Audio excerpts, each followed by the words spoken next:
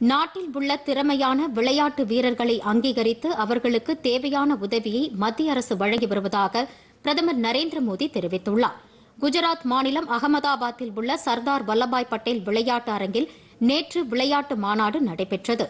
இதில் சிறப்பு விருந்தினராக பிரதமர் நரேந்திர மோடி கலந்து கொண்டு மாநாட்டை தொடங்கி வைத்தார். அப்போது பேசிய அவர் இளைஞர்கள் அனைவரும் குறுக்கு வழியை பின்பற்றக்கூடாது என கேட்டுக் கொண்டாா் நீண்டகால திட்டமிடல் மற்றும் அர்ப்பணிப்பு மூலமே முழுமையான வெற்றி கிடைக்கும் என தெரிவித்த பிரதமர் இதனை இளைஞர்கள் உணர்ந்து கொள்ள வேண்டும் என்று அறிவுறுத்தினார் साथियों सफलता का केवल एक ही है उसका एक ही मंत्र है लॉन्ग टर्म प्लानिंग और कंटिन्यूअस कमिटमेंट न एक जीत कभी हमारा आखिरी पड़ाव हो सकती है और न ही एक हार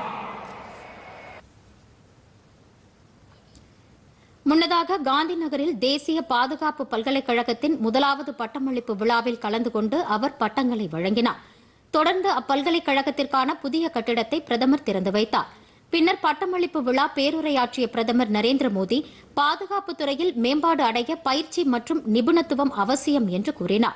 உள்நாட்டு பாதுகாப்பில் இத்தகைய பல்கலைக்கழகங்களின் வளர்ச்சி முக்கிய பங்காற்றும் என்று அவர் தெரிவித்த பிரதமர் புதிய கொள்கைகளை இத்துறையில் கட்டமைக்க மாணவர்களின் பங்களிப்பு அவசியம் என்று தெரிவித்தார்.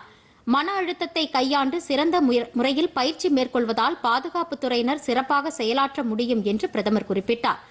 குற்றங்களை கண்டறிவதில் தொழில்நுட்பம் முக்கிய பங்காற்றி வருவதாகவும் கூறிய பிரதமர் தடய அறிவியல் மற்றும் சட்ட பல்கலைக்கழகங்களுடன் இணைந்து பாதுகாப்புத்துறை மாணவர்கள் செயல்பட வேண்டும் என்று கேட்டுக் கொண்டார். தொழில்நுட்பத்தை பயன்படுத்தி குற்றம் புரிபவர்களை களைய பாதுகாப்புத்துறையில் தொழில்நுட்ப கருவிகள் அதிகரிக்கப்பட வேண்டும் என அவர் கூறினார்.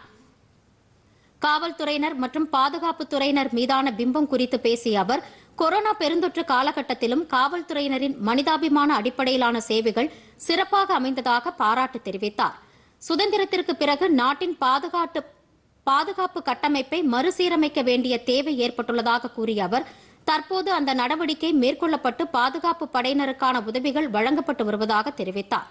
இந்நிகழ்ச்சியில் உள்துறை அமைச்சர் அமித்ஷா சிறப்புரையாற்றினார். குஜராத் மாநில ஆளுநர் ஆச்சாரிய தேவ்ரத் முதலமைச்சர் பூபேந்திர பட்டேல் உள்ளிட்டோர் கலந்து கொண்டனர். முன்னதாக காந்தி நகரில் பிரதமர் நரேந்திர மோடி பேரணியில் பங்கேற்றார்.